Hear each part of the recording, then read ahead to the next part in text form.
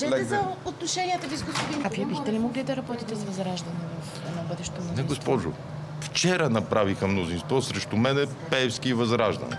Вчера. Аз ви питам дали вие А ги какво ще като стане след месеци, партньор? само Господ разполага. Господин Борисов, На, нека да, да, да гледаме фактите към днешна дата. Пеевски, Костадинов, Денков с едно. Така ли е?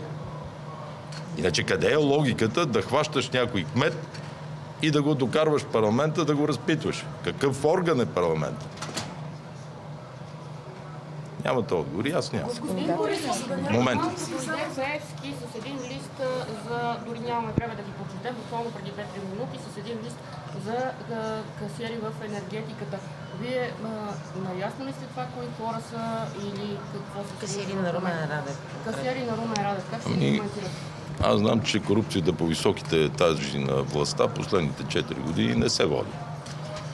ГЕРБ не участва и няма нито един човек от първия етаж надолу имаме, но нагоре нямаме. Бяха служебни правителства, бяха редовни правителства, така че не знам какво е оставил господин Пеевски, а да ви кажа честно и вече не ме интересува. И ще ви кажа защо, каква е моята логика и която ще изповядва ГЕРБ в тази кампания.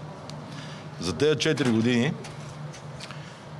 и седми ли са тези кои са, ние чухме всичко отвратително, грозно, кое е истина, кое е лъжа, между всички лидери, институции, убихме си авторитетите и хаоса е пълен. Затова ние повече няма да се занимаваме с това. Кой е лош, кой добър? Първо има институции, но най-важното определят хората.